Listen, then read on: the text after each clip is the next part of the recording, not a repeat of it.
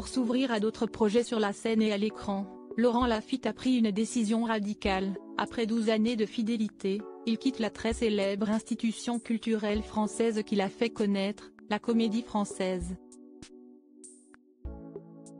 Il est l'un des acteurs français qui cesse de dévoiler au grand public sur le tard.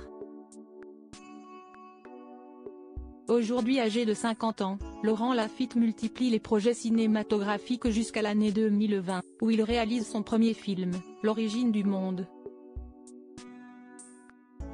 Il y joue le personnage principal aux côtés de Karine Viard, Nicole Garcia et Vincent Macaigne.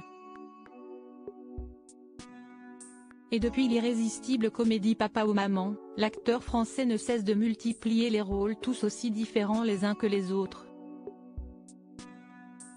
Il a récemment surpris les téléspectateurs avec son interprétation de Bernard Tapie, dans la série éponyme Netflix, et il sera prochainement à l'affiche du film Le Comte de Monte Cristo, avec Pierre Ninet et Anaïs de Moustier. Il y a quelques jours, Laurent Lafitte a joué sur les planches de la comédie française Cyrano de Bergerac, dans la mise en scène d'Emmanuel Domas. Un lieu symbolique, puisque l'acteur est lui-même pensionnaire de la comédie française depuis 2012. Mais ce lundi 29 avril, à l'issue de la dernière représentation théâtrale, il a annoncé qu'il quittait la maison de Molière. Laurent Lafitte a des envies d'ailleurs Éric Ruff, directeur général de la Comédie Française, a précisé que le départ de Laurent Lafitte est dû à sa volonté de se consacrer pleinement à ses nombreux projets extérieurs. Rien qu'un 2024, l'acteur français est au casting de quatre films, de plus, l'année prochaine, il souhaite se lancer dans l'écriture de son second long métrage. Toutefois, Laurent Lafitte ne tire pas un trait sur le théâtre, bien au contraire. Il sera bientôt au casting de la comédie musicale La Cage aux Folles.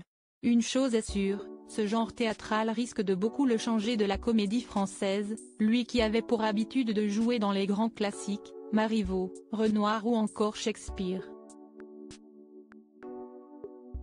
Un saut dans l'inconnu, donc. Un rêve d'enfant bientôt exaucé dans les colonnes de Libération, Laurent Lafitte a annoncé sortir épuisé, mais ravi des 52 représentations à guichet fermé de Cyrano de Bergerac.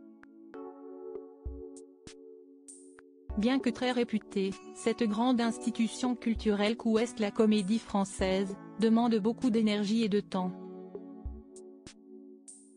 Mais Laurent Lafitte n'est pas le premier acteur français à quitter la maison de Molière après des années de fidélité.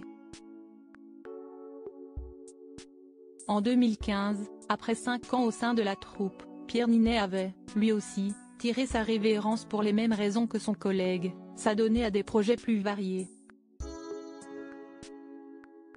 Ce changement de trajectoire va donc permettre à Laurent Lafitte de vivre son rêve d'enfant, devenir Zaza dans la comédie musicale de Broadway de Jerry Herman et Harvey Firestein, La cage aux folles.